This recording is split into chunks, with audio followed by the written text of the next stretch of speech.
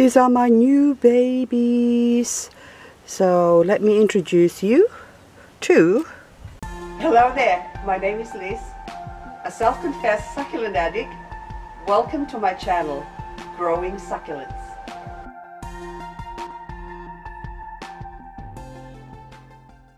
Maruba Raindrops Bluette Barbillion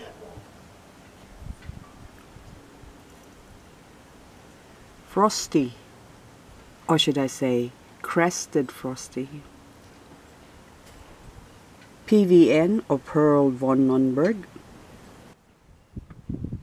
Neon Breaker. Dark Vader Blue Waves Zorro and Pachyphytum compactum.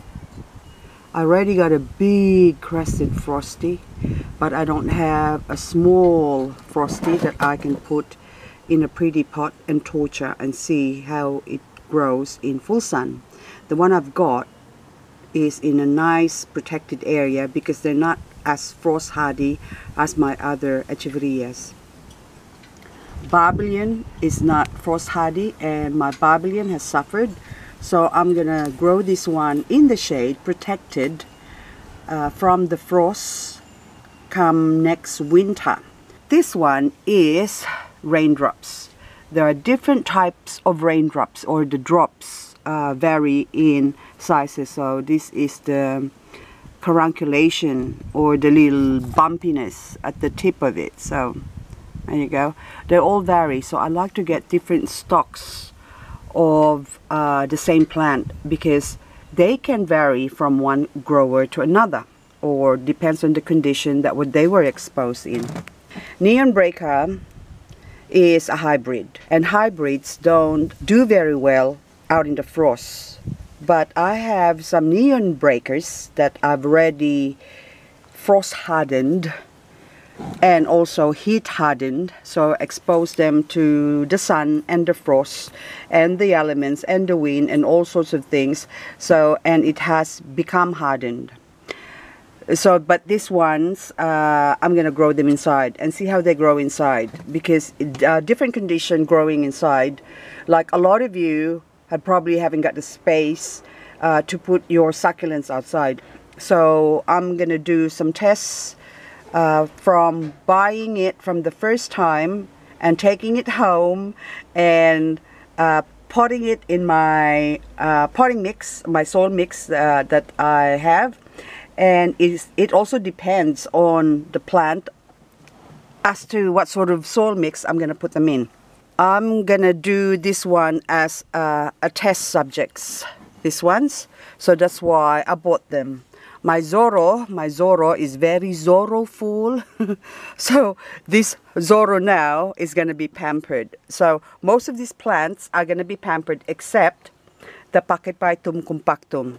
I already have uh, a few Pachyphytum compactum but they all have been placed in special location and special pots and soil mixes to find out how they're going to grow.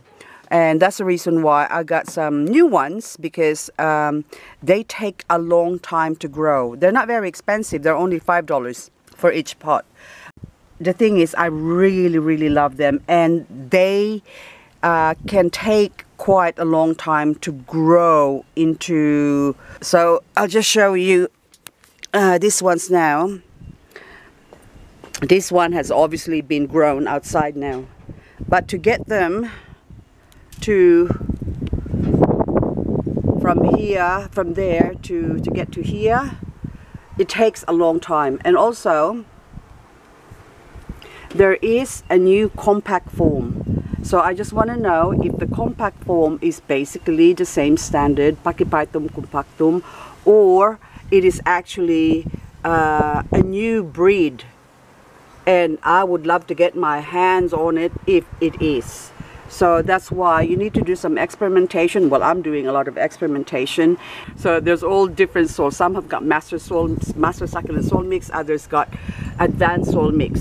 So in the pot, and I also have a couple in the garden, which is just all green. So I'm just going to show you.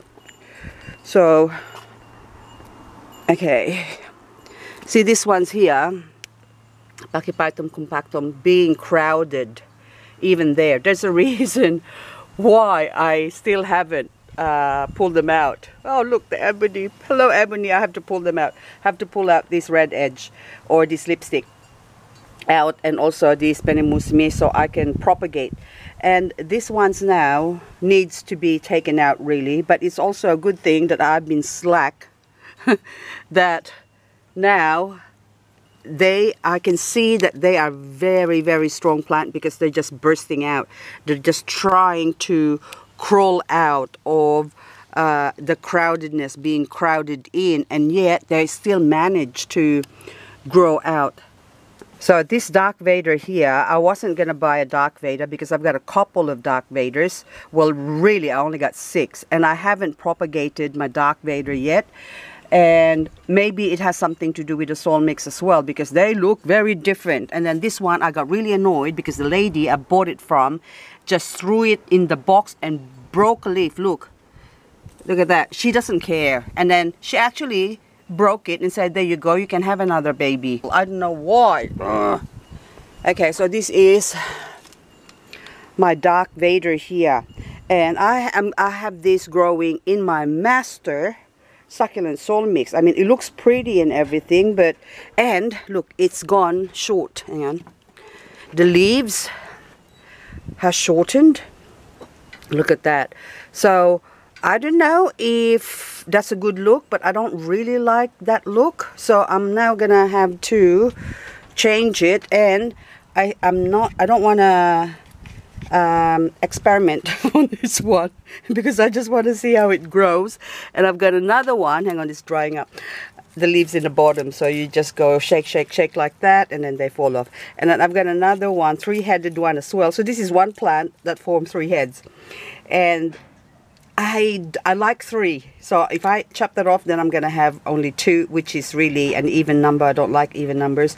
And then if I take the other one, so that's the reason why I haven't chopped it off. But now I'm going to have to deal with this one. I'm going to grow you into a beautiful plant. So I hope. So, but I'm going to change my soil mix for this one and probably grow it in the uh, intermediate soil mix.